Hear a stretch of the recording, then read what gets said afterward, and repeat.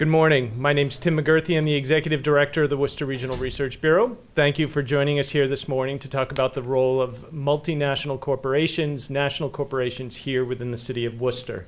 Um, thinking globally, but acting locally. Part of a two part series where next week we'll be looking at locally based companies and their role in the communities. Today we look at multinational companies and their role in central Massachusetts. Uh, the Research Bureau celebrates its 30th anniversary this year. We were founded in 1985 to help promote good public policy and good governance within Worcester and the region. Um, so thank you for coming out to one of our 30th anniversary events. Uh, I want to thank Unum for hosting us and Gail Flanders Weiss, who will serve as our moderator this morning uh, and lead us in the discussion. I also want to thank our panelists. Uh, today, Brad Johnson from St. Gobain, Ken Martin from Santander, and Russ Vanderbaan from Primetals Technologies. Business creates a plays a critical role in the community. It creates jobs, it promotes economic activity, it invests in real estate, it does uh, spin off activity, economic spin off, uh, and it engages in philanthropy and civic leadership. So it's a critical topic as Worcester changes, as the economy changes, and as local companies merge with national and multinational companies what remains as a role for these local businesses, for these businesses that are located uh, but not necessarily led here in the city of Worcester or the central Massachusetts region. We still have many locally based companies. As mentioned, Wednesday, June 17th, we'll be doing a session with companies that are based in the region. Hanover, Flexcon, Rand Whitney, and Polar Beverages will be part of that discussion. Um, but we're also host to companies like AbbVie, Tenet Healthcare, National Grid, Wyman Gordon, Nipro, and Jabil, um, significant employers in the region. So, how do businesses headquartered in the United States, Europe, and Asia connect to and work with local Worcester leadership, both political leadership and civic leadership? How do local leaders form relationships and build loyalty? Importantly, build loyalty with corporations facing multinational concerns. I'm very pleased to introduce Gail Weiss, Unum's Vice President for Dedicated Legal Services. Gail joined Unum in 1998 as Assistant Vice President and Counsel in the Worcester office, focusing on litigation disputes involving both group and individual projects. Products. She was promoted to Vice President and Managing Counsel in 2000, assuming responsibility for managing litigation nationwide on the company's individual product line. In 2007, she was promoted to Vice President and Chief Litigation Counsel with responsibility for managing a team of lawyers handling litigation disputes nationwide on all Unum US and Colonial VB products. Since 2012, she served as Vice President, Dedicated Legal Resources, leading the team of attorneys responsible for providing legal support for all claims on all projects and in all sites. She graduated from UMass Amherst with a BA in German Studies and from Suffolk Law with her JD. She's admitted to the Massachusetts Bar in the U.S. District Court for the District of Massachusetts. Gail herself is very active in the nonprofit community, currently serving as incoming president of the Devereux School of Massachusetts, past president and a member of the executive committee of the Worcester Economic Club, former president of Community Legal Aid, and most importantly, a member of the executive committee of the Worcester Regional Research Bureau. So, Gail? Thank you, Tim, and good morning, everybody. Welcome to Unum and to the Paul Revere Room, which um, I'll, I'll, touch on a little bit later in my remarks, but um, I think is significant for the topic that we're here to talk about today, which is a lot of the national and multinational corporations that we're here to talk about today are ones that have a history based in Worcester, and Unum is one of those. Um, so first, before I, I, begin my remarks, I'd like to introduce um, our panelists today and thank them for presenting. And I apologize, I, I need my glasses, but I don't want to, uh, to miss anything from their, um, their bios. Uh, Bradley H. Johnson is Vice President and General Manager of Saint-Gobain Abrasives for North America, where he's responsible for leading all sales and operating activities for Saint-Gobain, uh, abrasive locations in the United States, Canada, and Mexico. In this role, Johnson also serves as chairman for the Saint-Gobain Greendale Management Committee, which provides oversight for the company's shared services for all its businesses located in Greendale. That includes abrasives, abrasive materials, and refractories. also including community relations, real estate and environmental, health and safety affairs. As Vice President of Saint-Gobain Bonded Abrasives Worldwide, Johnson coordinates operating activities for all bonded businesses locations throughout the world. So welcome, uh, Brad. Next, Russ Vanderbaan. Russ is Head of Human Resources for Primetals Technology in Worcester. He previously served as Vice President of Human Resources for Siemens and Morgan Construction Company, and prior to that, in Human Relations with ATF uh, Davidson, a white consolidated industries company. He has more than 40 years' experience with manufacturing companies. Russ is responsible for the full range of human resources, employee and labor relations, strategic leadership, talent development, talent acquisition, compensation, benefit uh, management, and communication. Russ is also a corporate member and advisor to several healthcare companies. He is currently president of the Board of Trustees of the Whitinsville Christian School and director of the Worcester Regional Research Bureau. Russ has a bachelor's degree from Davidson College and an MBA from Anna Maria College. Welcome, Russ. And last but not least, I'd like to welcome Kenneth B. Martin from Santander. Ken is the head of business banking at Santander and the director of commercial markets for New England. In this role, he is responsible for the bank's relationship with companies across Santander's nine state footprint that have annual revenues between 3 and 20 million dollars, as well as for middle market companies in New England with up to 500 million in annual revenues. Prior to joining Santander in January of 2014, Martin managed the commercial enterprise business for Providence based RBS Citizens. He also served as the Northeast Commercial Executive for Bank of America as one of several varied roles during his 30 plus years of experience in the banking industry. Ken is current Pawtucket Boys and Girls Club board member.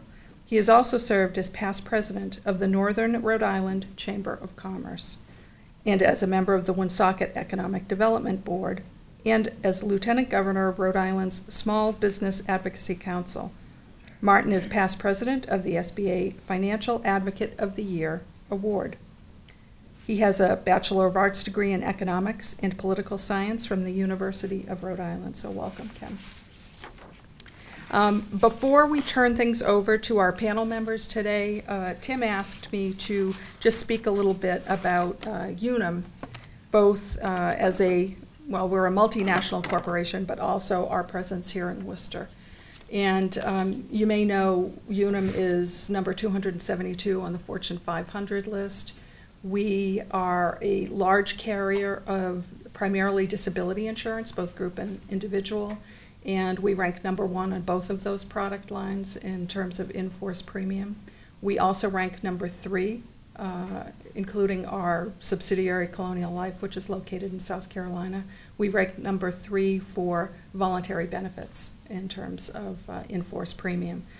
We uh, insure actually approximately a third of Fortune 500 companies and um, many of you in the community. So, you know, Unum has um, really is, is the uh, conglomeration of four different insurance companies, all of which have very long histories. So, uh, in terms of Worcester, uh, and, and, all of these subsidiaries still exist. So, here in Worcester, um, we're standing in Paul Revere, and Paul Revere is a company that got its start in 1895. So, we've been around for a while. Unum, our parent company, is headquartered in Portland, Maine, and they are 165 years old. So, again, quite a long history. Uh, Provident Companies Inc. in Chattanooga also got its start in the 1800s. So the, the three primary companies all have over 100 years of experience. Uh, Colonial Life, which is a voluntary benefits subsidiary located in uh, Columbia, South Carolina, was incorporated in the 1930s. So when I think about the topic for today, I, you know, I really want to focus on, from our perspective, the importance of both embracing change but also respecting history.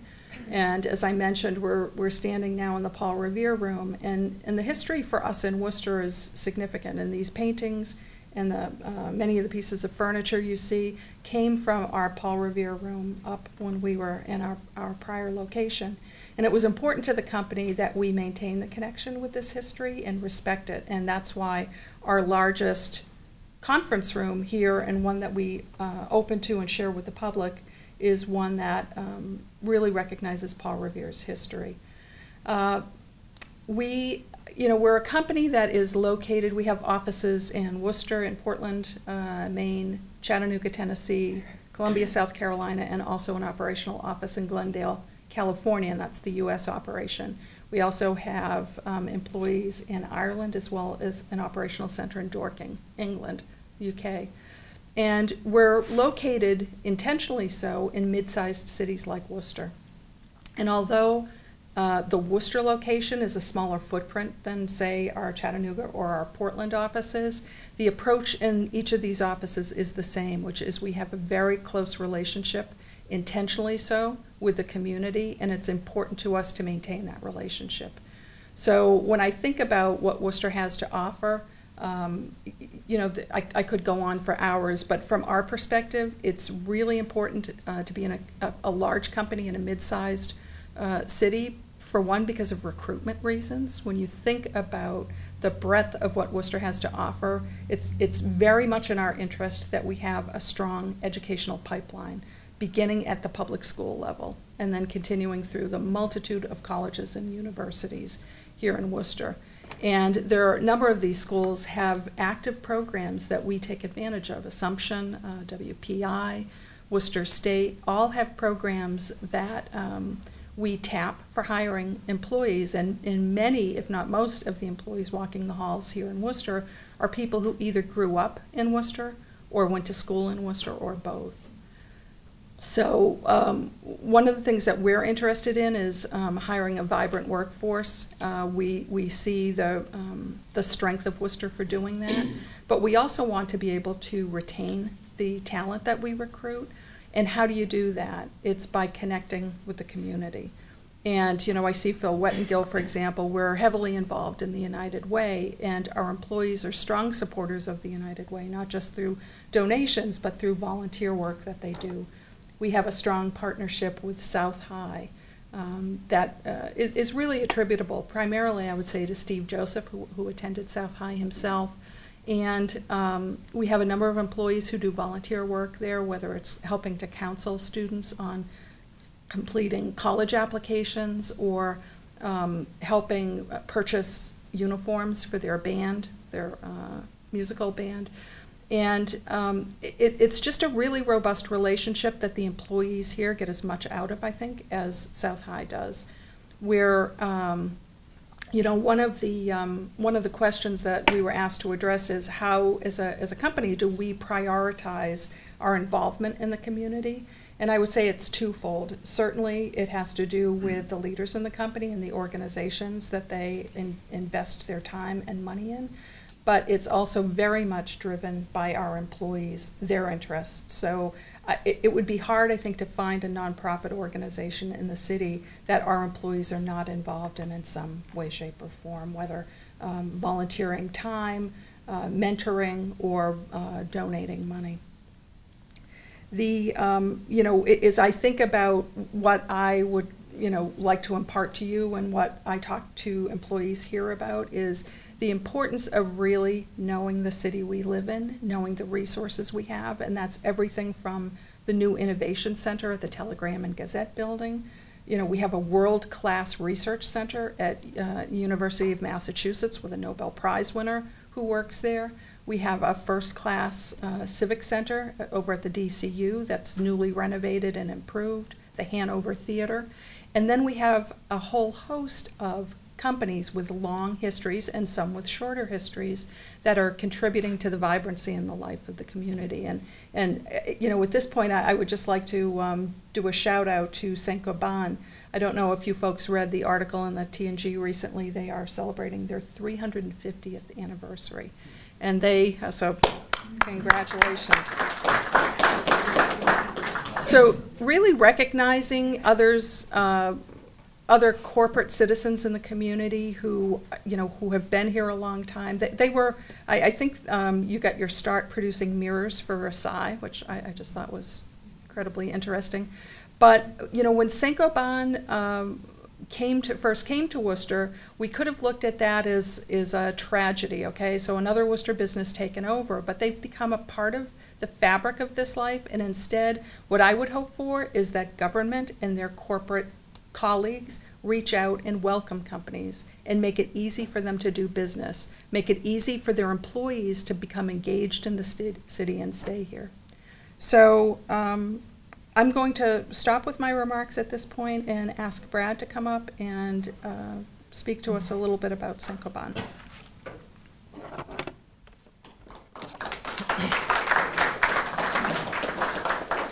Uh, Thank you, Gail. Um, So Gail stole my first line, which is, uh, you know, we have uh, three important milestones that I look for that Lauren Pettit, who is our uh, manager of uh, community relations, um, which I think is an important thing to note, that we actually uh, hire somebody to help us make sure that we're doing right by the community.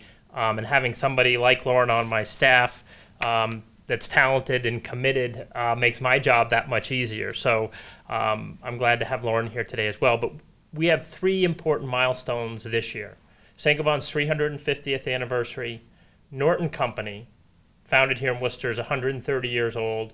And we're also celebrating 95 years of an important milestone for corporate social responsibility as our founding fathers started, were, were some of the people that helped uh, initially start up the United Way of Central Massachusetts some 95 years ago. So we do have a strong relationship. I'm proud to serve on the board of the United Way.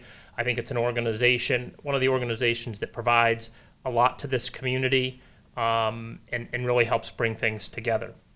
We do have a long history besides United Way of, of what I would say commitment to this community. Um, we can start easily with a, you know with some big numbers. You know, we provide around a half a million dollars a year of direct financial support to the community through our various um, charitable contributions. We do that in a couple of ways. We have a corporate foundation um, where I, I chair that, um, and we uh, seek grant requests and provide funding to various uh, nonprofit organizations that uh, provide benefit to the community. We also have a very showing the commitment of just the employees and not just the corporation, and that's another comment that Gail made is making this about commitment of the entire employees. We have a, a fund that we give to a group of employees, the Community Impact Fund, that's run completely by a group of employee volunteers with no oversight by management, where they make their own decisions about where they believe they should be donating money um, to the local community as well. Um, and then there's other support that may come in as direct requests that I may fund myself outside of those. So that is one part of it, and that's an important part. But the commitment to the community uh, runs deeper, and that's getting the engagement of the organization. And I and I say that um, often when I'm asked, strong communities and strong businesses go together. I, I don't think in the long run one can exist without the other. Uh, the community um, needs taxes, they need employment, um, and corporations do that. Um, corporations need strong communities to uh, attract talented people. We need an education system that generates that pool of talent. We need a safe environment uh, for employees to live and work. Um, and we need an attractive place for employees to come work and stay and raise their families and keep that commitment going. So I really think that we have to operate together. Um, obviously, there's challenges uh, that come up uh, during that those relationships, but it really comes to if you're part of the community, embedded in the community, um, and have relationships with the government, um, you can work through those challenges. And I really think it's important. And um, similar to, to Unum, we we probably have employees that sit on the board of directors of 13 uh, nonprofits here in Worcester. Um, but I think beyond that, again, that that's uh, shows support um, kind of at a at a managerial level. But um, one of the things I'm most proud of is we implemented um, uh, a policy where employees could take eight hours of paid time uh, off recently. Um, so every year they have eight hours where they can contribute their time dedicated to any cause that they want in the community for nonprofit. And that, that helps that make it about them making their own commitment. Um, in addition to the things that we sponsor, whether it be the United Way, uh, Working for Worcester, the Day of Caring with the United Way, um, or our projects where we help renovate homes uh, with Habitat for Humanity or Youth Build here in the city, where we've renovated some ho- homes on, in Main South um, and made them available to low-income families to rent. So it's really those support functions, um, everything from education, um, help support other businesses. I think that's a key part uh, of being part of the community. Sometimes as businesses, you have other needs and, and other business leaders can help you with, with some of those challenges. So um, building those relationship is important and being part of city government. It's hard to, you know, as a company, we make it a, a policy to not get involved in politics and elections, but that doesn't mean that you can't be, um, you know, part of working with the city government um, or other forms of government to, uh, you know, improve the community. And I think it's important to have those relationships so the government understands your needs to survive and, and help be part of a strong community. But also, we have to help support the government with the things that, that they deal with. So um, I really think it is important. Um, I'm glad to, you know, coming back to the Worcester area after being away uh, for, for about 11 years. Um, I'm glad to be back uh, and working with um, our employees and the rest of the community to make Worcester stronger. Um, and our and our history really is strong, and it goes beyond our employees. We have about 1,600 reti- uh, retirees uh, here in Norton Company um, that have worked here, and uh, we do things for them: holiday parties, clam bakes. They come back. But even at a clam bake that we have, where we have like 600 of those 1,600 retirees come back to the community, they're doing things for the community. They participate there and donate to the United Way that they collect blankets, clothes to give to homeless shelters in Worcester. So it really is part of our, our fabric. Um, and a challenge is when we become part of a corporate conglomerate, if you think about Saint-Gobain, over $50 billion in revenue in 2014, 180,000 employees in 64 countries. Um, when you're part of an organization that large, um, you know, how do you build that uh, strength and get the support? we are lucky that our current chairman um, was one of the first uh, executives to come from Saint-Gobain and actually ran Norton Company uh, for a while after the period. So he he's been a strong. He saw the support of the community. I think he recognizes that we have a, a our corporate um, mission is sustainable habitat. So there you talk about sustainable communities, sustainable living for everybody involved. We have a large construction business, um, so it really goes a long way. And um, I think it's it is important that in communities that you're a part of, um, you need to support them because it really is important for your long-term success. Safety, um, a good place to live, a good place to work.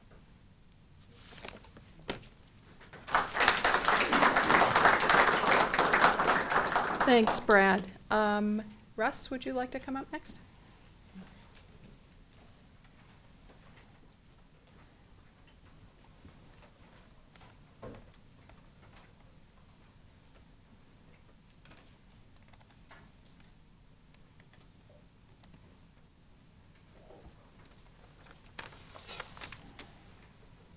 Good morning. My story is a little different. Uh, I've been working in Worcester for well over 35 years. In effect, working for the same company, the same product line, the same business story, and so on. I started in Worcester for Morgan Construction Company, uh, working for the Morgan family. And uh, the Morgans, as many of you know, is a privately held company that was in existence for 120 years with five Morgans in a direct line as presidents. Their history is one of being very involved and very engaged in the community, giving back, uh, giving back in a wide variety of ways, uh, being part of setting up the uh, Red Feather Guild and United Way, being part of uh, WPI, Worcester Technical High School, supporting government, uh, I think it was Plan E, uh, so the Morgan family has a long history of uh, being very involved in giving back to the community. And it was during, I guess, early in my career that uh, I recognized uh, that it is very important to me to work for a company that gives back to the community. Uh, Morgan, I would say over the years, we averaged 500 employees. Uh, we're involved in uh, engineering and manufacturing. We engineered and manufactured capital equipment for the worldwide metals industry. We made high-speed wire rod mills, Morgoil bearings, and a big piece of our business is the service business. And on the slide here, you see a, uh, it's called a laying head. It's the end of a wire rod mill. A wire rod mill can have, you know, be up to a mile in length. But this, uh, at the end of this wire rod mill, we're producing rod at around 200 miles per hour. It's being deposited onto a conveyor. The conveyor might be 100 meters long, where it's controlled metallurgically. And uh, the end product off of this wire rod mill is probably a 6,000 pound slinky. And uh, that rod is used for thousands of different applications. Uh, nails, fasteners, bolts, springs in upholstery, springs in automobiles, uh, cable, wire rope, rebar, uh, violin wire, cleats for soccer shoes, and so on. So that's the heart of our product that I started with more than 30 years ago, and the company I'm with today um, is, is still involved in this product. Uh, so I learned from um, Philip and Paul that uh, being a strong corporate citizen is good.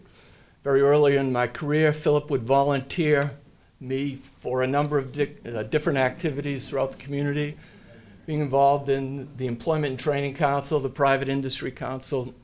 I was on a couple of task forces, task forces for the uh, Worcester Public Schools, and I think that was through uh, Roberta and the Research Bureau that I got in, involved uh, way back when on that. So I learned that uh, being involved in the community is very important to me. In 2008, um, Morgan Construction Company was acquired by Siemens. Uh, Siemens is a German company. Their, head, their U.S. headquarters are in Alpharetta, Georgia. The corporate headquarters are in Munich. Uh, Siemens is around 160 years old, also an engineering and manufacturing company. So we went from being a, uh, privately held company of 500 employees to uh, part of a large organization with 370,000 employees globally, maybe 65,000 employees in the US. So it was a pretty big culture shock for us. Um, uh, when I was recruiting for Morgan, one of my uh, main messages to people were, we were bringing in is you know, in our organization, if we have to make a decision, if we have a strategic direction, we'll go uh, to 15 Belmont Street and talk to the president, and we make the decisions there. I never realized how important and what a wonderful feature that was to have local decision making. So uh, Siemens controls their brand very, very tightly. It's a great brand. Siemens does an awful lot of very wonderful things, and uh, they tightly control their brand. Uh, they too give back to the communities where they live, but I think their focus is more national and international. They will respond um, in the event of a natural disaster, and whether it's a, uh, an earthquake in China or an earthquake in uh, Haiti or Katrina or Hurricane Sandy, uh, Siemens is a company that always steps up at one point, they owned a company called uh, Siemens Water Technologies. And they had equipment that would uh, purify water that they could move into wherever the disaster was. And they would always bring in, you know, uh, that unit into that disaster area. Um, they have, their charitable group is called uh, Caring Hands. Uh, and they have their annual Caring Hands campaign. And they would match employees' contributions uh, they would have five or six featured organizations. I'm proud to say that uh, maybe the second or third year that we were part of Siemens, we got them to uh, add the United Way as one of their featured organizations. But uh, they would focus on the Heart Fund or Cancer Fund and large organizations like that. In the past couple of years, they had, uh, it's called the Baton Pass, and it was national event, and whenever an employee passed the baton from from uh, one person to another, and they do it on the Today Show and Good Morning America. They would give, uh, you know, another couple bucks. And so at the uh, end of the year, they gave well over a million dollars to the Cancer Fund. So Siemens, Siemens consistently did that. They sponsor uh, engineering and math competition and have a very, uh, a very generous scholarship program for the people who uh, compete and do well in that competition. Um, but again, their focus was uh, global. Now, we had a couple of good examples here with Siemens. Um, again, they supported us in our United Way, but we had a couple of uh, very good examples of uh, how they became involved in Worcester. One was the WPI uh, Solar Decathlon competition. And many of you are aware of that. There are a lot of community uh, organizations that supported uh, WPI in that event. Toward the end, we got a call that they were getting ready to ship containers over to, to China, and they didn't know what to do or how to do it. And we ship maybe 100 containers a year to China, so we're very experienced. Uh, at the beginning, uh, I received the call, and uh, in talking with a couple of other people, we decided let's not ask for approval. So um, uh, we called in many of our vendors, and it included uh, fork truck organizations, crane op operators, packers, shippers, uh, freight forwarders. Uh, and we called in all our vendors, and uh, we were very, very successful in sending a couple of containers from Worcester over to China. It was uh, very, very efficient operation. WPI was very appreciative. They made us a platinum sponsor. And um, so it was a, a great success, but it, we had a number of employees in Worcester. This was part of their job. They knew how to do it. They could get it done efficiently. And uh, so we became part of that local community team. And the good news on that is uh, we never had to ask for forgiveness. no one ever knew at the corporate headquarters. So the other uh, story we had with Siemens is um, uh, we had a project here, and we worked with Mass MEP and Jack Healy and Leslie Paradis and uh, Ted Bauer. And Siemens had a, a program with one of their companies called Siemens PLM where they offered software to educational institutions. So I became aware of that and working with Leslie. Um, we had an opportunity. Leslie announced it one day at, uh, at uh, Blackstone Valley Technical High School, and then we got busy in reaching out to uh, uh, schools in Massachusetts to offer that software.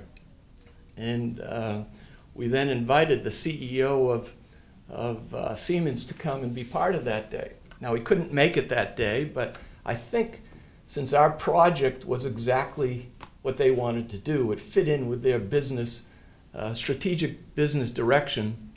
They were very, very excited about it, and uh, they offered us an opportunity to partici participate in their Siemens Building the Future in Manufacturing hotspot program, where they had six hotspot cities in the United States. When, when we reached out to them, they had identified five cities, and so we were fortunate that, that they allowed Worcester be, to be part of that hotspot city and some of you may have been at that event, but uh, during that event, we really saw the full power of Siemens brand and Siemens communication and public relations and media program. And uh, they brought in the governor, they brought in Congressman McGovern, they brought in the Atlantic Monthly, and it was really a, a wonderful program where we, where we saw the full power of Siemens. So that was a, uh, an exciting event where we got Siemens to come into the Worcester community and help us out. On uh, uh, January of this year, uh, Siemens um, established a joint venture with Mitsubishi Heavy Industries. Uh, so they announced it of May of last year, and then we became a new company on January 1, 2015. Mitsubishi Heavy is the 51% owner, Siemens is the 49% owner. So as of today, we have Japanese ownership as opposed to uh, German ownership. Uh, this new joint venture has uh, maybe 8,000 people globally, headquartered in London. Uh, we have 1,200 employees in the U.S., headquartered in Alpharetta, Georgia. Uh, the largest uh, U.S. location is Worcester. We have around 420 employees in Worcester. Uh, we are a new company. We're still finding our way. We're finding our direction. Uh, our new vice president of post-merger integration, uh, Toshio Yoshikawa, is now located in Worcester. So um, we have the challenge and the opportunity to make uh, some good things happen in Worcester. Uh, just as a quick note, I'll say a couple things. Number one, we now had the opportunity to control our benefits. So as of January 1, we added Unum as the vendor and provider of our disability and life insurance and IDI insurance. So we got a little bit of control back. Um, but uh, I think the good news for, for the Worcester location is the Japanese understand manufacturing. They're impressed with our manufacturing facility. Uh, the Siemens group that we were involved in, which was basic, basically an Austrian, their approach was engineer and procure. The Japanese are to engineer and manufacture. So we have an opportunity to, uh, for some good things in Worcester, in spite of a very slow metals market. But, um, and we're just finding out um, the direction, and we're sta- establishing the direction of this new company. So we, just within the past week, we have a new corporate vision, and uh, I'll read it. As a world leader in metallurgical plant solutions, we passionately, we work passionately to continuously improve and challenge ourselves to accomplish new goals, increase our com- customers' competitiveness, and make a lasting contribution to society. We just need to figure out what that means in Worcester. How do we make a lasting contribution to society? Thank you.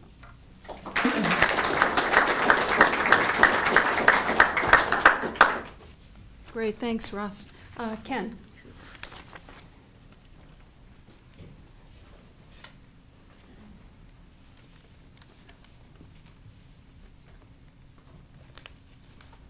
Good morning. Good morning. I first want to start by just thanking the Research Bureau for having uh, given us this opportunity this morning. So I'm going to spend a few minutes on, on a couple of pieces. I'll try to give you a little bit of background on Santander Global, Santander US, kind of what do we do here in the Worcester uh, market, and then hopefully, most importantly, spend a little time giving you some insight in terms of how do I think about our role and responsibility in the community, and then really giving you some very specific kind of action items that, that we're partaking in things that we think are important, and hopefully uh, wrap up with, uh, with some key takeaways for you. So hopefully that'll move pretty fluidly over the next five to 10 minutes. I would start by saying, um, you know, I've got 30 years in the business, but lifelong Rhode Island resident, certainly familiar with Worcester. I live in Lincoln, Rhode Island, so I know 146 and that road pretty well. As a young kid, used to go to Spags, drive up before the, the connector, go to dinner at uh, El Morocco restaurant, and so we've got a little bit of history in this marketplace. So based out of Boston today, but certainly want to make sure you guys understand, have a pretty good handle on Worcester. Not an expert. I leave that to uh, the key colleagues that we have in the marketplace to do that, but certainly uh, something that I do have a, a, pretty good sense on. I think from a Santander across the globe, uh, we're a top 20 financial institution. Uh, we've got about 185,000 kind of teammates who work in really 10 countries. Uh, we've got a lot of presence in some other countries, but when I talk about Santander, I like to talk about our core markets where you have bricks and mortar, where you can go into a branch or you can go in to see a small business person or you can go in and see a, a commercial player. But 10 countries, predominantly Europe and Latin America. Very strong in, uh, in the Latin America uh, marketplace and key markets uh, in, the, uh, in the Europe area. Uh, I think here in the U.S., we're approximately uh, $80 billion in size for the bank. We do have a holding company, which is about 125 to 130 billion. Included in that holding company would be a private bank that we own in Miami, a bank in Puerto Rico, and then we have a consumer subsidiary out of, out of Texas that gets us to the 125 or 130. But the, the pure bank is in nine states, predominantly New England, New York, New Jersey, and the Mid-Atlantic marketplace, about 10,000 people strong across the geography, and about 700 branches, and about 2 million customers that we have kind of throughout, uh, throughout the geography. Here in Worcester, I kind of looked at just the Worcester County, uh, is about, uh, we have about 26 branch locations in that area. Uh, As I went through some of the math, when I look at the number of customers, I look at our revenue, I look at what our deposit and loans would be, we would be a major bank, big bank, just based on that makeup. You know, hundreds of employees, millions of dollars in revenue, you know, over a billion dollars as you look at the overall deposit and uh, loan front. So one of the key messages today is Worcester is a critically important market for Santander.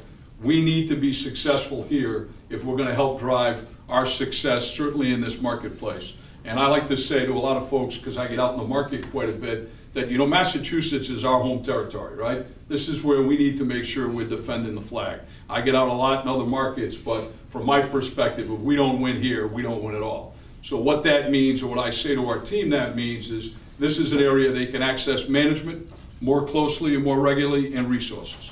In terms of where we deploy resources, this becomes really a critical market for us kind of across as we think about our overall geography in terms of people, certainly in terms of investments that we're going to make in the marketplace, whether that's product or other things that we would look at across that.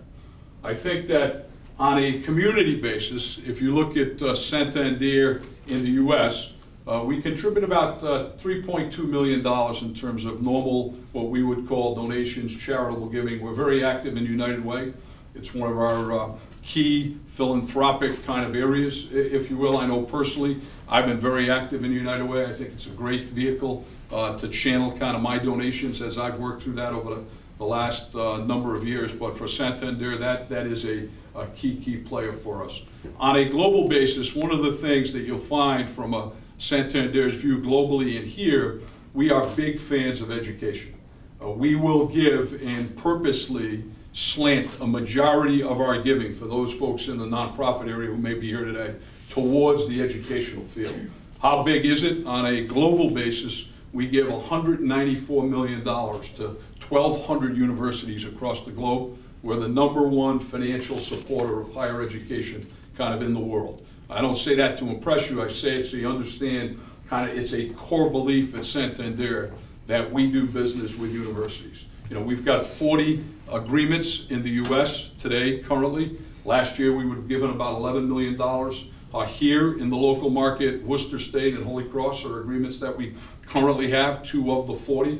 Uh, we have made a commitment that by 2018, we will give $100 million in the US kind of educational area. So as I talk about things, understand as a company, that's where we like to place a pretty big bet. We think that's the next generation of workforce. We think, you know, those are the ways that you really support a community in terms of making sure, right, we've got people who are prepared to take the jobs that industry are going to develop. But the universities piece is a key component uh, here for us at Santander. kind of my view of kind of what is our role in the community, right? As a, a major kind of multinational bank, what are the types of things that I would say that uh, we would view? And a lot of it's right in line with what I heard earlier. I mean, we have to be ingrained in the markets where we make our living. Is kind of the way that I think about it, right? It's it's not enough to just be someone who's outside of the community. What do I mean by ingrained, right? It's important for us to be active participants in key organizations. What I've said to my team and kind of hopefully have led by example is it's not enough to just belong. The expectation at the company is you need to be a leader of X organization. I know here locally we're involved in the chamber, involved in the Boy Scouts, a number of nonprofits where our team is actively involved. And would say to folks here, if there are places that you think we need to be involved in, give us that feedback. I mean, we try to sit down, look across the geography and say, okay, where, where are we needed? Where can we have an impact? It's nice if you can tie an interest of one of the teammates with one of those organizations, but it's very clear, and I can tell you the messaging that I deliver candidly to the team is you have to be involved. This is where we eat, this is where we live, this is where we grow up our families. So it's so critical, I think, that you have that ingrained kind of uh, network. I think someone said it earlier, it's kind of mutually dependent as kind of a corporate citizen, right? You have to believe in your heart that this is where you make your living. It's important to give back. That's something I personally have felt strongly about. Candidly, I think it's a challenge of this next generation. Uh, I see it with my own children as I work with them. But I think the best thing that we can do, in my opinion, is role model the behavior that we're looking for. Really step up in those leadership opportunities in that local marketplace. And when you're doing that, from my perspective, yes, you are a member of the, the Santander family, but I think you also got to take some personal pride in terms of your own personal commitment back into the, into the community, uh, which I think is key. Uh, what are ways that uh, companies really should get involved in? There's some obvious ones, right? Direct donations. I haven't heard anybody who says no to a great grant, right? Just a direct check that major companies write, and we all write them, right? We write them selectively based on budgets, based on what's going on in the economy. I just said to you, you'll see a majority of our money a lot of times is channeled into universities. So that takes money that we may not have available other places, but it's a, a decision, a priority decision that companies make. Secondarily, it's a volunteerism of your time right? You know, it's very easy to write a check sometimes. It's a lot harder to show up at 5.30 at night or 7 o'clock at night to the chamber meeting or the not-for-profit board meeting, but really critical, in my opinion, that members of our community are actively involved from a time and volunteer and expertise.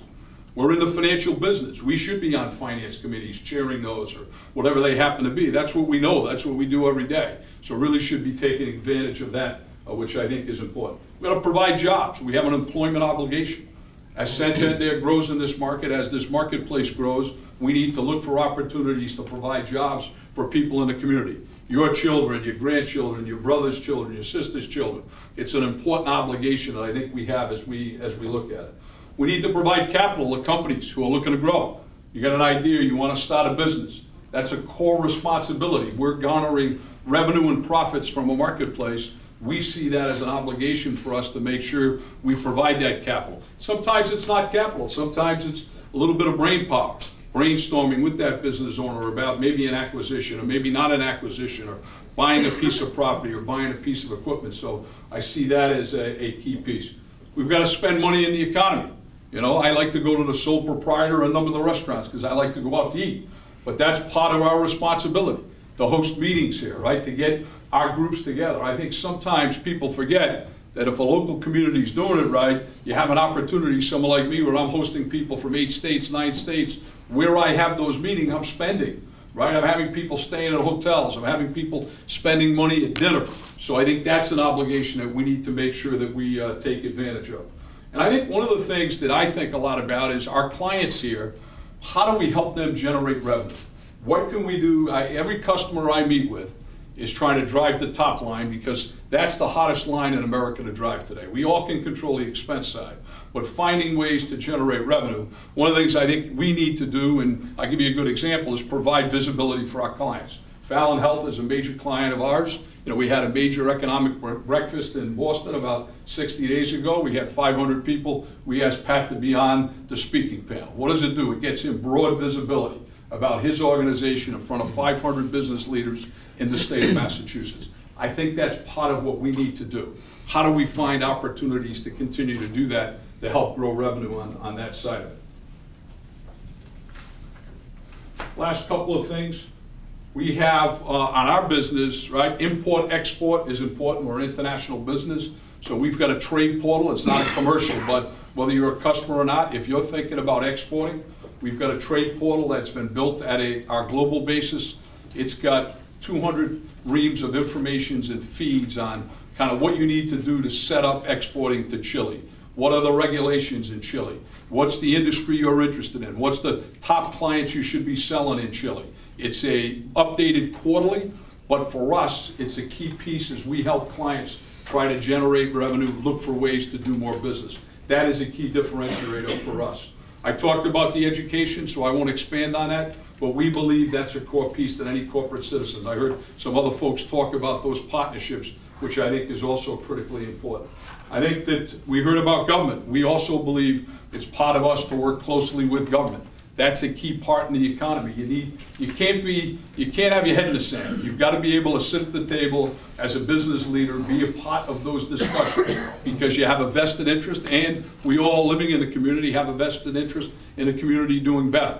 Uh, so I think that's a key piece. We do, we're the major bank for uh, the state of Massachusetts. It helps us, but it also helps us make sure that we're tied to the local uh, economic uh, growth and, and benefit. We are also on the small and medium-sized business going to come out with a plan in 2016 that's been launched in 19, uh, nine other countries called Santander Advance. A key part of the program is helping us with training for business owners and their employees in the market. How do we connect them with jobs, internships? There's a mezzanine capital fund. Uh, we've got now, I was last night having dinner with the gentleman from Madrid who's coordinating it. We're getting ready to launch that in 2016, but it's a way that we work with the community to make sure we're helping them grow their business and move forward. What are the kind of key takeaways I, I would tell you to think about? One, Santander gets it. What does get it mean? We understand we have a real responsibility to not just be in the community, be active in the community, and be a leader in the community. We cannot be successful unless the community is. So I think that's one of the key messages I would give. The second one, it's not all financial. It's easy to write the check. I really think when we really make progress is when we step up as leaders and take on leadership roles in the community, role model the behavior, and have a direct impact on the key organizations kind of in the marketplace. And I think the last comment I would make is all of us need to think about what is it personally that we can do. You know, whether you're part of a company or you're part of your own self, there's a role for everybody. I really believe that in the community. And if you make your living in the community, I feel very strongly that you have a personal, and the company certainly has, uh, a corporate obligation to ensure that you really help drive that community forward. So appreciate the opportunity today. Certainly happy to answer any questions as we sit down.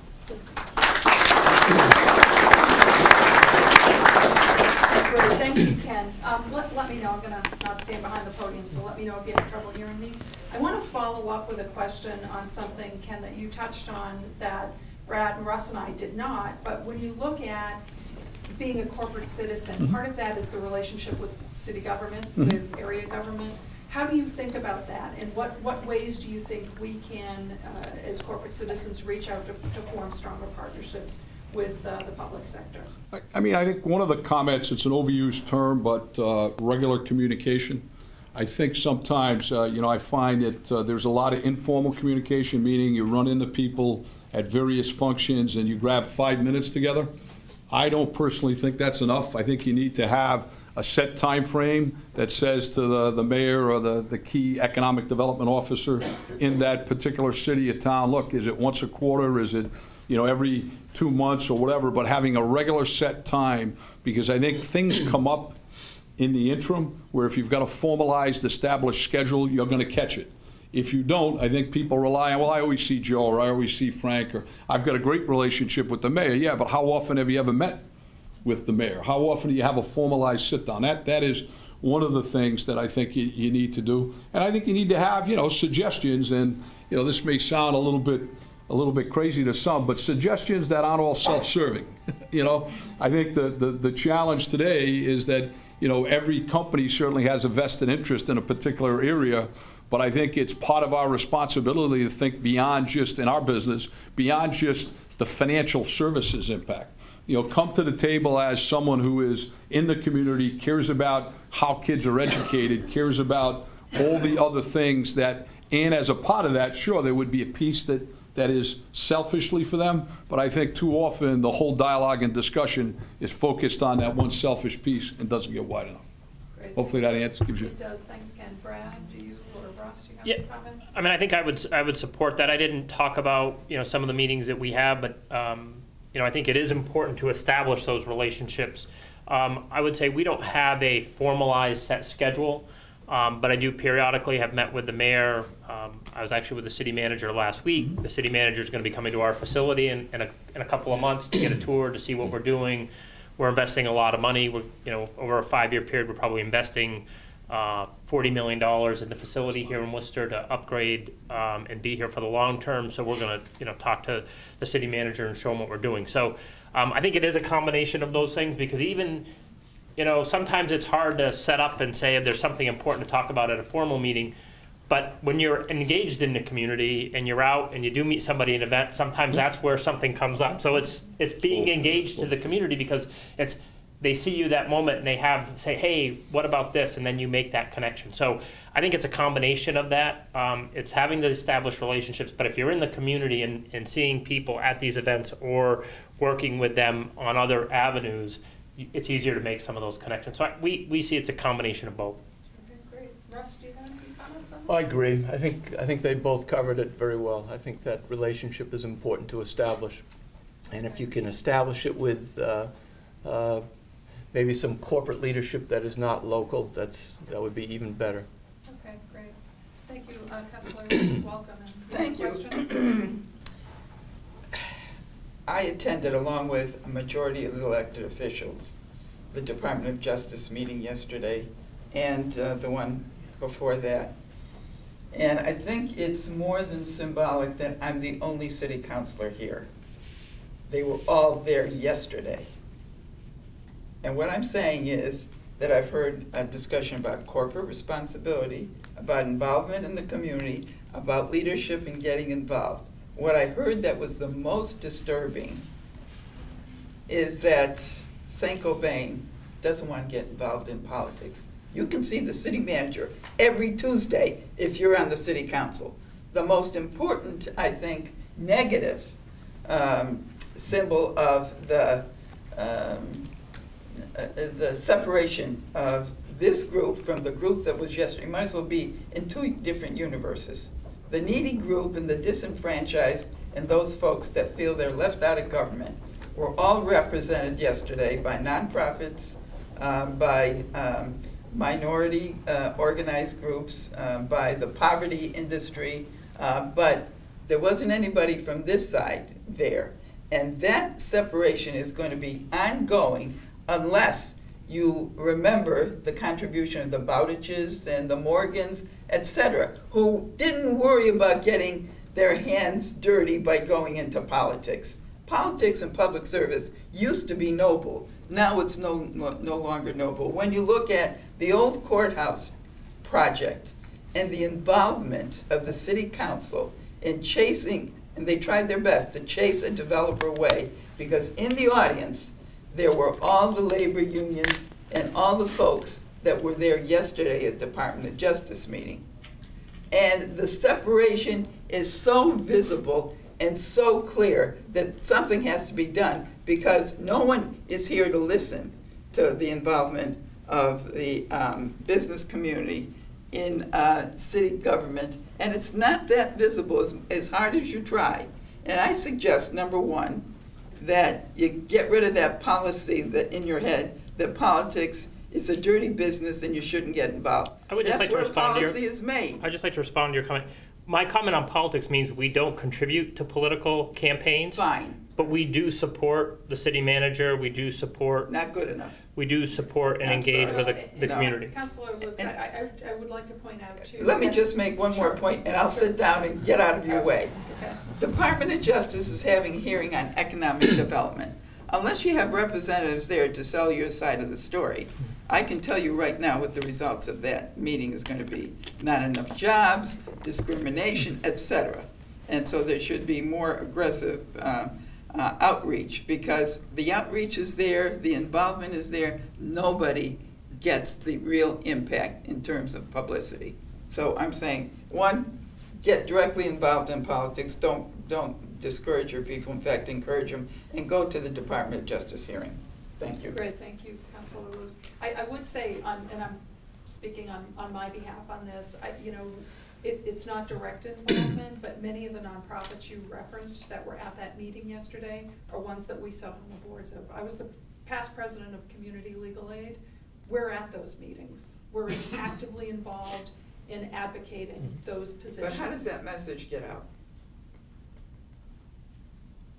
So, good, right, thank you, thank you. Um, another, uh, question that I wanted to ask folks, and then we can open it up for more questions from the audience, is how do you think about new ways, you know, we, I think we all talked a lot about the same kinds of ways that we engage as corporate citizens in the community. As you think about hiring the millennial workforce and just the way our, our businesses are changing, whether it's because there's no longer local ownership or, or the way business is changing, how do you think about new ways to engage the, the corporation and your workforce in the community? I think uh, one way, it's not necessarily a new way, but it's a, a lesson we've learned in the past. And that's to encourage volunteerism. Again, Paul Morgan and Philip Morgan, throughout their careers, encouraged volunteerism. And we would highlight people in our, in our company uh, media, uh, trying to find people who did that and then, and then give appropriate publicity. Um, so we've, we've had uh, employees who have that passion about certain things, like Engineers Without Borders, uh, as one example. And when that opportunity becomes available, you help with the publicity, you encourage them to be active, you give them vacation time when they go to Tanzania. Uh, so I, th I think it's by example. Encourage volunteerism, uh, demonstrate that it's a company value and part of our culture, and then highlight that when you get a good example. One of the things I would say is that I get very concerned as I fast forward the movie about, you know, the, the, the actual commitment of the younger generation, use whatever term you want, and interest in the volunteerism. We've got to redefine, in my mind, what that means. Because I don't see them wanting to be active in the chambers and the Lions Club and all these other organ. I just that's not what I'm seeing. Maybe people are seeing there's a smaller and smaller percentage. So I, it may be as simple as I know a lot of organizations I've been involved in. Can we have a conference call instead of having physical meetings every two weeks? It sounds ridiculous to some people, but you've got very busy people they're not interested in blocking out every Tuesday because it's it's not as much a social piece. They're there because they want to give back, they want to be involved, but it isn't a social two-hour gathering. Now, for some people, they, they don't care to hear that. But the reality is, you know, the 25-year-olds, you know, they may want to just do it on a webcast or whatever they've got to do. It doesn't have to physically be sitting there face to face to have involvement or give them assignments that they can do on their own time. They can still be involved, but it isn't all going to be physically face to face. And I think that train's left the station, and we've got to do a better job of figuring out what types of ways can they be involved in the community that's different than the ways that I've been involved. Because I don't see them following those same paths. As much as we may mandate it and try to role model it, we need to widen up how we define involvement. Thanks, Brad. Yeah, I mean, I would uh, touch on a few po- points that both Ken and Russ talked about. I think um, it's interesting because I've I've suggested this conversation about it's challenging for me with my responsibility to be at a set time on a recurring place for those meetings, and I said, it, but I'm usually accessible by the web or by mm-hmm. phone to, to be able to arrange my schedule if mm-hmm. I'm out of the country or mm-hmm. somewhere to participate in that meeting. So I think that is something that these nonprofit organizations are going to have to adapt to to get people that can, because I think it's, you know, my commitment is if I'm going to be there, I want to be able to participate. active, right. But it's a challenge, and, and but I can participate that way if, if they embrace that new technology to allow us to participate. But I am surprised. I'm not concerned about our millennial workers willing to volunteer. Um, I think it's going to be in slightly different ways. We we do a number of things, whether it's like I say, the working for Worcester, and we've had people show up, or um, when we rehab a Main South house, and we go down there, we have 30 people go down that are ripping down walls or putting up new walls, or for Girls Inc. It was easy. They needed a new gym floor, and we had some of our people that are in part of our business that does finishing floors. We called them up, and they were dying to go help out, and they spent their time, and we refinished their gym floors. So I think their willingness to volunteer in that environment is is high. I don't see that declining, but it is as you get to those leadership positions on boards. I think that is a challenge, and that that whole idea of remote work, technology, and things that is something that is going to have to be dealt with. But but and at least in our company, we don't see. Um, I'm very uh, pleased with the, the pure volunteerism for those kind of individual events and giving back to the community. I think it's still strong, um, but it's in a different way, and it's not necessarily the traditional large one-time financial contribution, but it's in texting. You know, give, donate this. Everything's a little bit different, and um, and everybody's going to have to adapt to that. Yeah, I, you know, I'll, I'll say too, um, I, I'd like to segue off a couple of comments you made and to put in a plug for Leadership Worcester. And the Research Bureau was very much involved in helping that get up off the ground. Tim Murray, Chris Collins here at Unum chaired the, the committee that um, reinvigorated that Leadership Worcester. And I can tell you, um, back in the day, when I was a young associate at Bowditch and Dewey, I participated in Leadership Worcester. And many of the relationships that I formed then, I still have now. And I'll give you an example. Um, you know, Tim mentioned I'm incoming president of, of the Devereux School of Massachusetts. I met Steve Yurden, who's the executive director, at Leadership Worcester. So when I think about how do you encourage our younger workforce to get engaged, and that includes, Councilor Lukes, with city government, whether on their own behalf or, or on behalf of companies, that is one good way to do it, is to get folks involved in Leadership Worcester. And we've really gotta beat the drum and get our people into that pipeline, because that is going to be the, in my opinion, the future of this city. i- is, we, we've gotta get folks into leadership positions coming up with a pipeline behind us, but, um, that's my two cents on that question. Does any, Tim? Could I, if I could piggyback a little bit on what Councilor Lukes asked, which is the, um, as representing corporate interests at the table, there's, you know, there's limits on kind of what different public policies impact your business directly or your needs directly. But there are times when the business community as a whole has an interest in certain things that happen either at City Hall or up at the State House or beyond.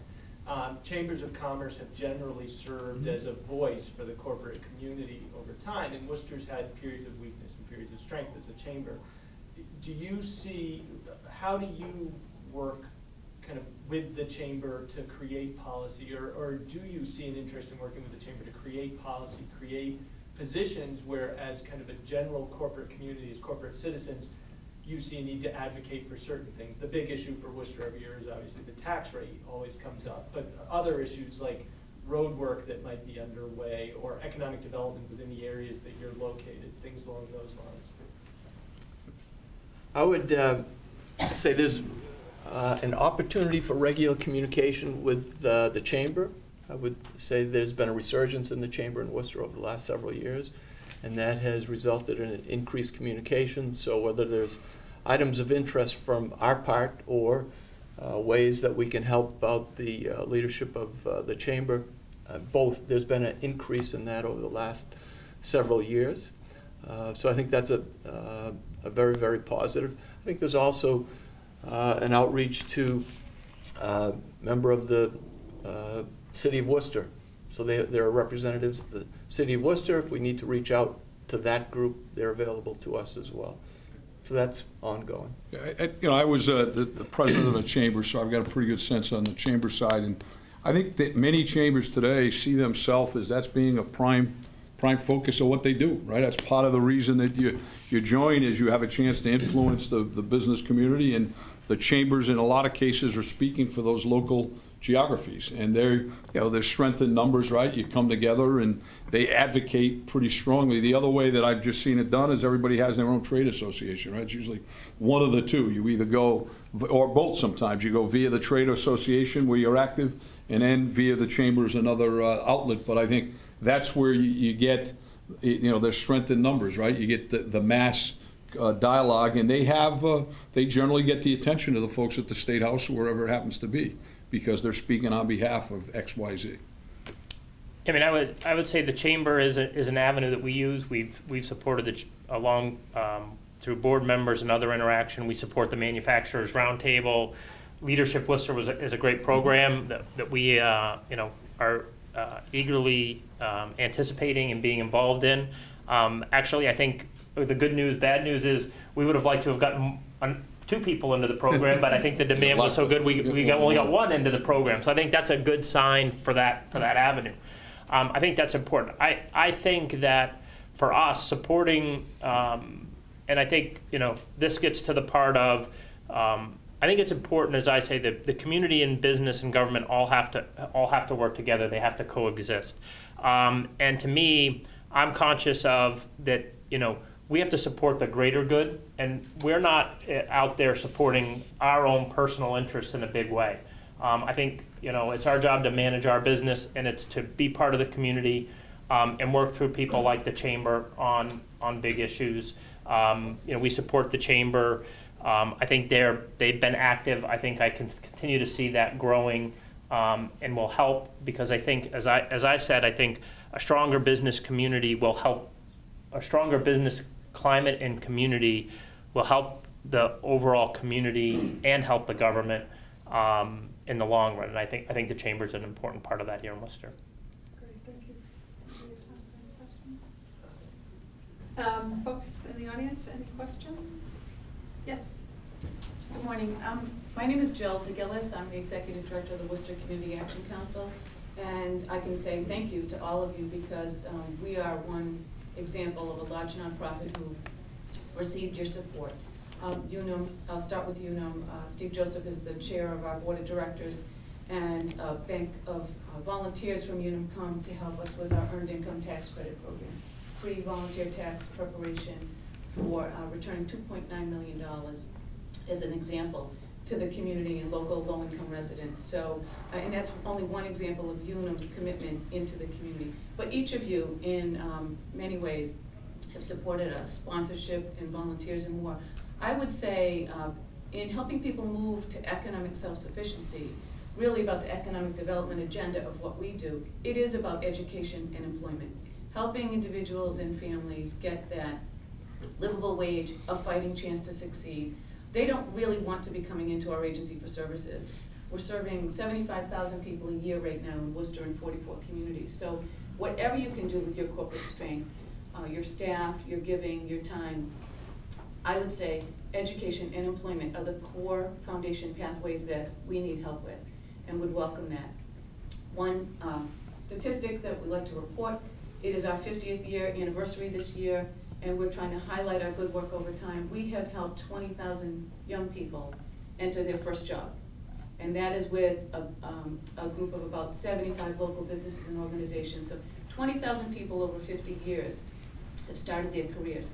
That's an example. Jobs is really something that you all can help us with in varying levels, from entry level to more advanced. But I just wanted to advocate, first say thank you and advocate for those pathways for the people that we serve. And we're only one of some, uh, United Way is a really good friend and partner, some fifty or so, um, local nonprofit organizations. We're proud to partner with all of them. We always only get our work done in partnership. So, um, as the council said, it really can't be, you know, different sides of a fence or walls in between. We really need the bridges to one another. So, thank you. Great, thank you, Jill. You know what, I, I will say, um, just by way of example, here at Unum, we do take that seriously, the employment issue. And we have a Unum Scholars Program where we're taking folks that- that are still in school, who come here to work. You know, and part of it is to, for them to try us out and get to know us as a company, understand what our values are. But also for us to get that, those relationships created so that they don't leave the city. We wanna try to retain the talent, it's best for everyone, and to try to find jobs to keep them here. It is very important to us, so I don't know if anybody else wants to. I would just say, uh, we would agree with the, the job part, and I think we focus on the early education, yeah, well, two ways. We, we do a lot of things through the nonprofits that we support for early education, um, right up into middle school with like the Girls Inc. program and supporting them.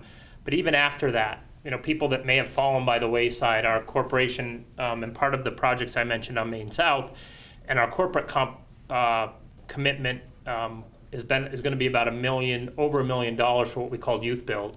Um, and we've done two projects here in Worcester, and we, we're gonna be, com- um, we just announced that we were expanding that, um, which is important, where we give people, uh, job training in the construction trades. People that will have, have gone out of school, didn't get their degree, it comes back into a program, they get their GED, or I know it's changed, but I still refer to it as the GED, um, and train them in building trades, and then they work on these programs with building materials to rebuild houses that go to low-income families. And so we find that as kind of a, a full circle thing. We're providing product, we're providing money, we're providing education, we're providing training for people to get a job, because that family self-sustainability is what becomes what I call a key cornerstone of a strong community.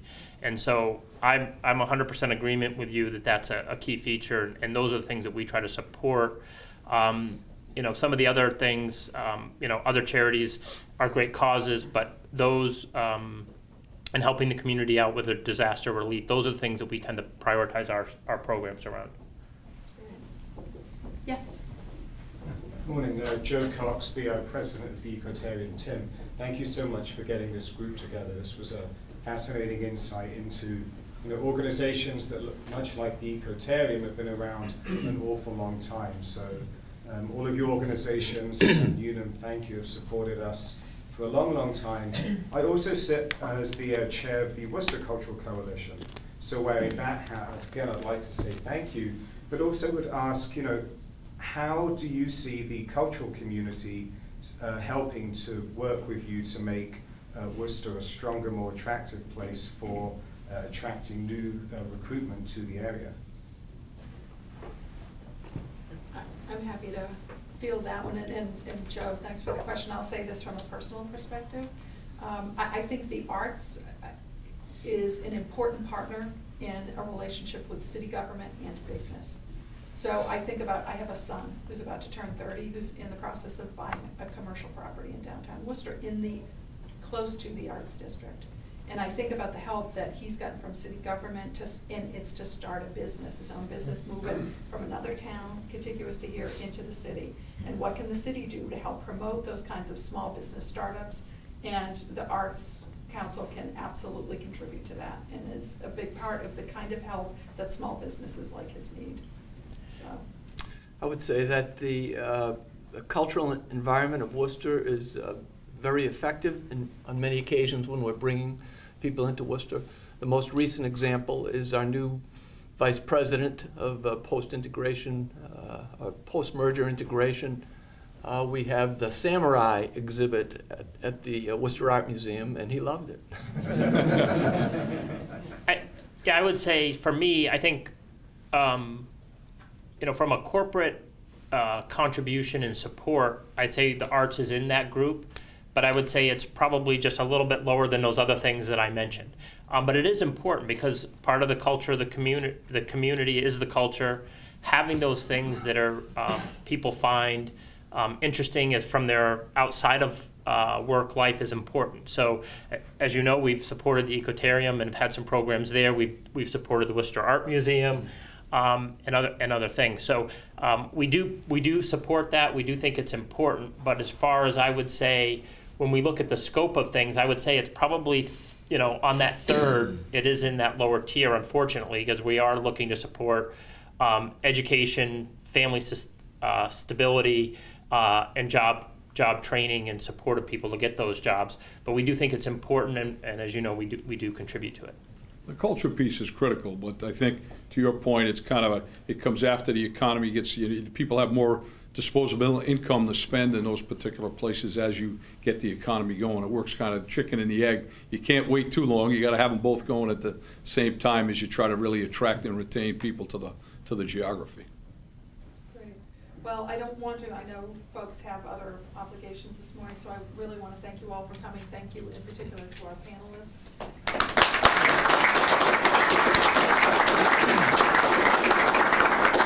Thank you to Tim and the Research Bureau for hosting today's event. And I'll just remind you, next Wednesday, uh, June seventeenth, at the DCU Center is our uh, locally based company version of this same conversation. So you can see about the differences between the two. Um, Fred Eppinger, Neil McDonough, Nick Smith, and Mike Mulrain will be on that panel. Hope to see you there. Thank you.